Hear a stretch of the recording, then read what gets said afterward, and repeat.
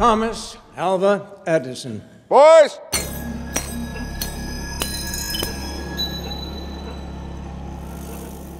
Trust you brought your checkbooks.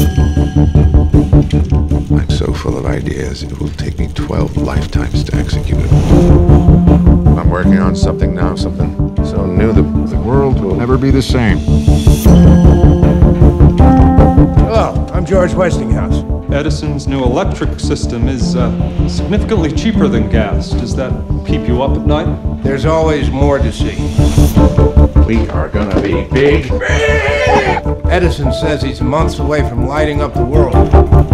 Stoves, washing machines, electric carriages. I could do the same thing with electricity that I do with gas. Westinghouse Electric Company. Edison Electric, it has to be. You're rich. At the moment.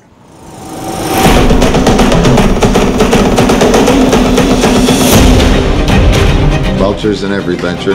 Gotta keep them away. This is what he thinks of you. Don't let him agitate you. This is how he is. Soon. Westinghouse Electric shall endure. It's a parasite. His current kills people. Only because you said it would. Mr. Edison, if you say something about me or my company again, I would ask that you tell the truth. Automation, transportation, communication. The man that controls that current controls that future. Though he may be unfamiliar to you, his studies have demonstrated an understanding of electrical matters unlike anyone I have ever known. Gentlemen and lady,